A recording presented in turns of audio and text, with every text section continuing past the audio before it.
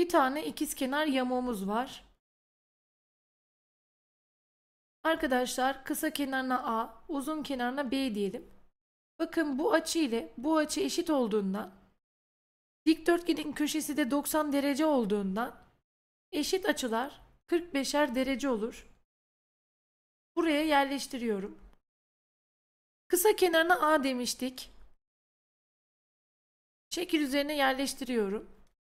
Uzun kenarına B demiştik. O zaman 1, 2, 3. 3A artı 2B uzunluğu 24'e eşittir. Burada ise 2A artı B uzunluğu 14'e eşittir. Arkadaşlar aşağıdakini eksi 2 ile genişletip toplayacağım. O zaman buradan eksi A eşittir. Eksi 4'ten A 4 gelir.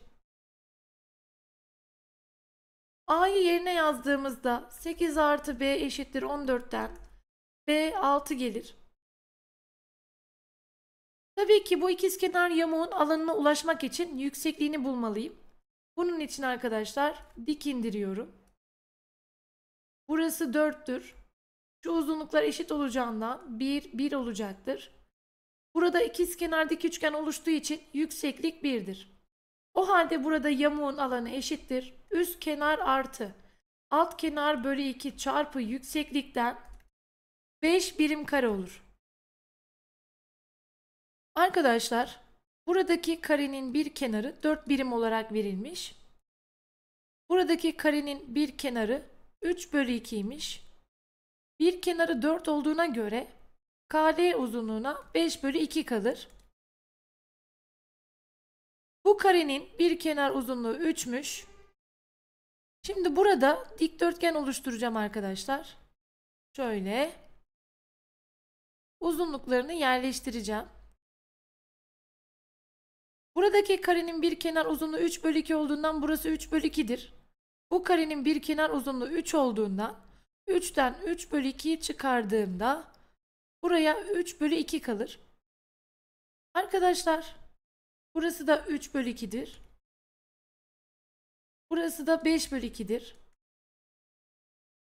3 artı 4'ten burası 7 birimdir. Şurayı bulmalıyım. Arkadaşlar 4'ten 3 bölü 2'yi çıkardığımda buraya 5 bölü 2 kalır. O zaman şu uzunlukta 5 bölü 2 olacaksa buraya 1 kalır. Şöyle silelim. Daha temiz yazalım. O zaman burada bir dikdörtgen oluştu. Dikdörtgenin alanından kırmızıyla taradığım üçgenlerin alanlarını çıkartarak DNP üçgenin alanına ulaşacağım. Dikdörtgenin alanı 7 çarpı 5 bölü 2'den 35 bölü 2'dir arkadaşlar. Eksi buradaki taradığım kırmızı üçgenin alanına bakalım. Arkadaşlar 3 artı 3 bölü 2'den burası 9 bölü 2'dir. Dik üçgenin alanını bulmak için dik kenarların çarpımı bölü 2 diyeceğiz. 3 bölü 2 çarpı 9 bölü 2 çarpı 1 bölü 2 artı. Buradaki dik üçgenin alanı ise 5 bölü 2 çarpı 5 bölü 2 çarpı 1 bölü 2'dir artı. Buradaki dik üçgenin alanı ise 1 çarpı 7 bölü 2'dir. Arkadaşlar şurası 27 bölü 8. Burası 25 bölü 8'dir. Burası da 7 bölü 2'dir. Topladım 52 bölü 8 geldi. 4'e böldüm 2, 4'e böldüm 13. 13 bölü 2 ile 7 bölü 2'yi topladığımda 20 bölü 2'den 10 gelir. Yani 35 bölü 2'den 10'u çıkardığım zaman DNP üçgenin alanı 15 bölü 2 olur. ABCD karesi eşit alanlı 4 dikdörtgene bölünmüştür. EF uzunluğu 1 birim olduğuna göre karenin bir kenarı kaç birimdir? Arkadaşlar öncelikle şu dikdörtgene bakalım. Kısa kenarı 1 ise burası da 1'dir. Uzun kenarına K diyelim. Hatta 2K diyelim kolayca ilerleyebilmek için. O zaman buradaki dikdörtgenin alanı 2K olur. 1 çarpı 2K'dan 2K olur. Geliyorum buraya.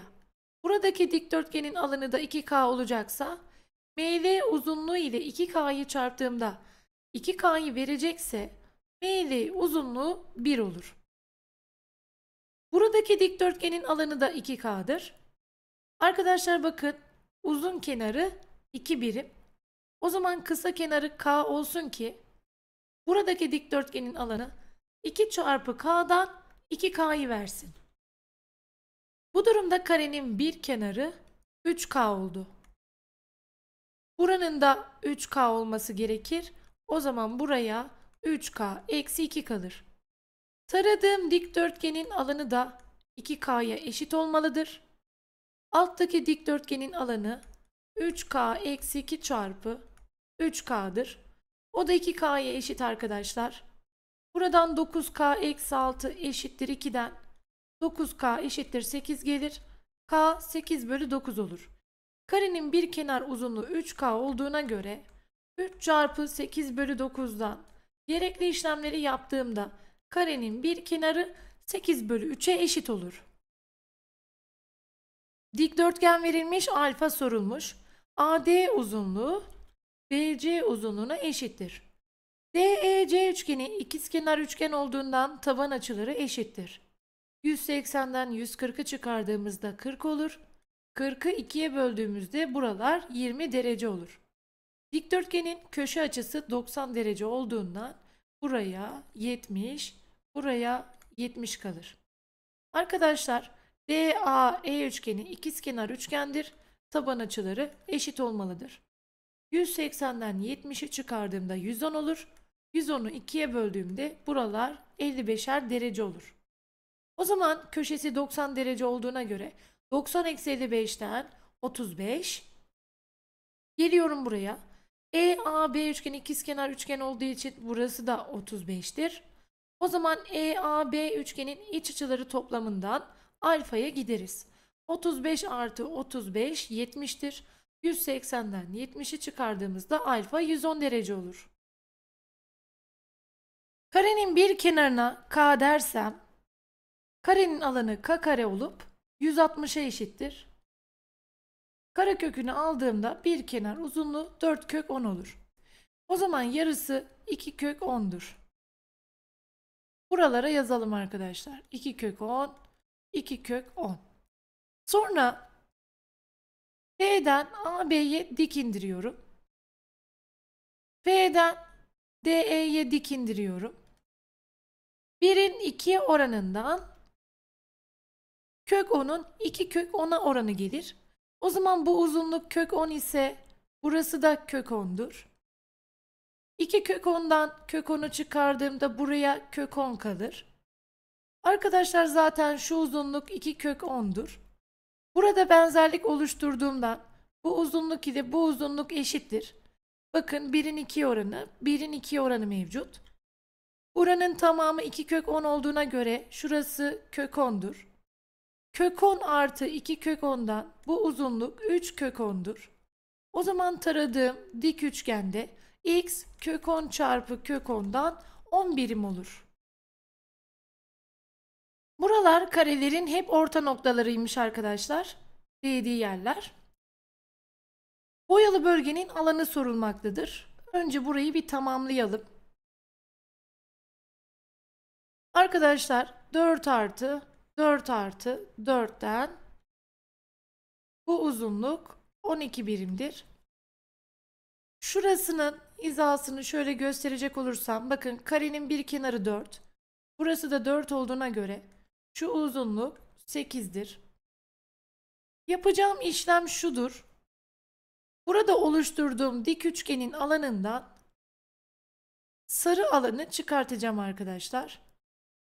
O halde dik üçgenin alanını hesaplayalım.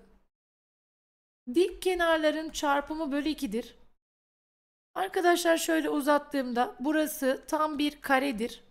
Karenin bir kenarı 4 olduğuna göre 4'ün karesinden 16 gelir.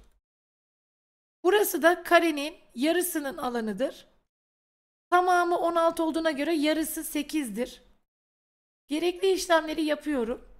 48 eksi 24'ten boyalı bölgenin alanı 24 birim kare olur. Öncelikle E noktasından AB'ye dik indirelim arkadaşlar. AD uzunluğu 9 olduğundan burası da 9'dur. DE uzunluğu 12 olduğundan şu uzunluk da 12'dir. Ve buraya x eksi 2 kalır. Ama ben buraya y demek istiyorum. Dikten dik indiği için öklide uygulayacağım. 9'un karesi eşittir 12 çarpı y. 81 eşittir 12 çarpı y olup 3'e böldüm 4. 3'e böldüm 27. Y buradan 27 bölü 4 gelir. Arkadaşlar burası 27 bölü 4'tür. X dediğim ifade 27 bölü 4 artı 2'dir.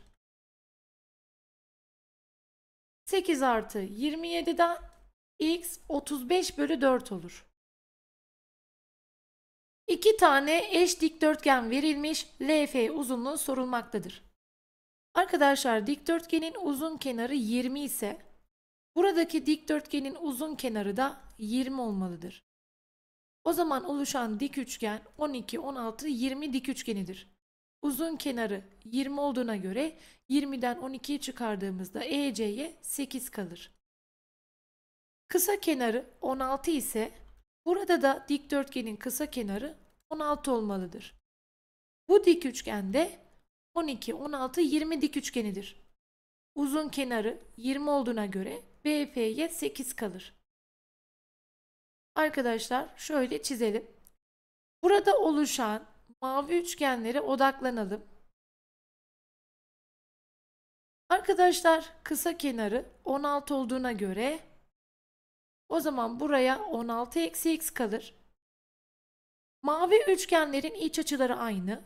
Çizgi açının karşısındaki kenarların uzunlukları da aynı olduğundan mavi üçgenler eş üçgenlerdir.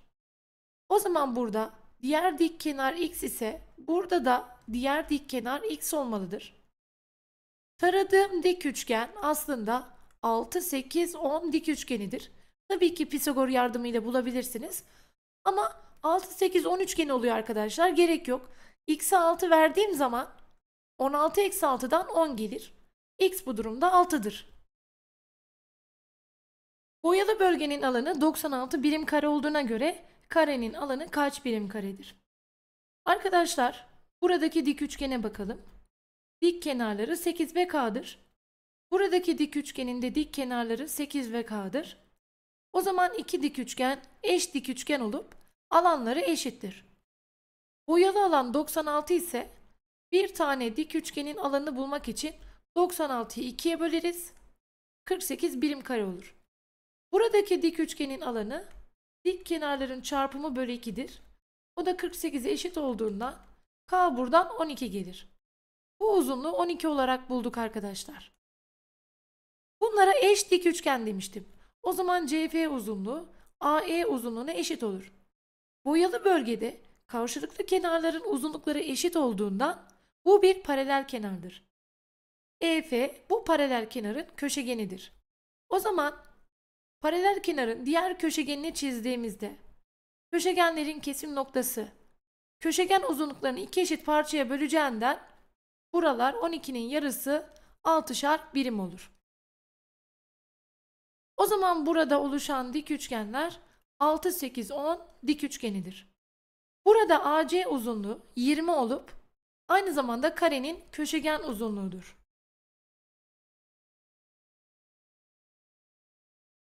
Karenin bir kenarına K dersem köşegeni K kök 2'ye eşittir.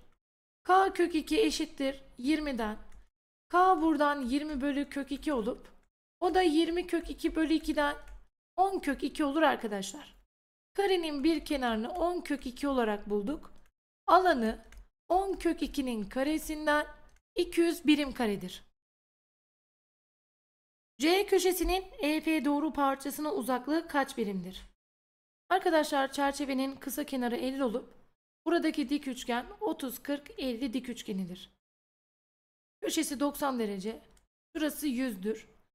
Şimdi burada benzerlik yapmaya çalışacağız. Şuraya çizgi açı, şuraya nokta açı dersem Nokta açı ile çizgi açının toplamı 90 derece olup buraya nokta açı kalır ve burası da çizgi açıdır. Arkadaşlar buradaki dik üçgen ile buradaki dik üçgenin iç açıları aynı olduğundan benzer üçgenlerdir. O zaman burada benzerlik yapacağız. Aradığımız uzunluk şu uzunluktur arkadaşlar. Soldan başlayalım. Nokta açının karşısındaki uzunluk DE'dir. Sağdaki üçgende nokta açının karşısındaki uzunluk 40'tır. Soldaki üçgende 90 derecenin karşısındaki kenar 100, sağdakinde 90 derecenin karşısındaki kenar 50'dir.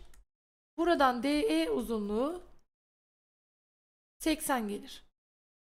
Arkadaşlar C'nin EF'ye olan uzaklığına bakıyorum. Aradığımız uzaklık budur.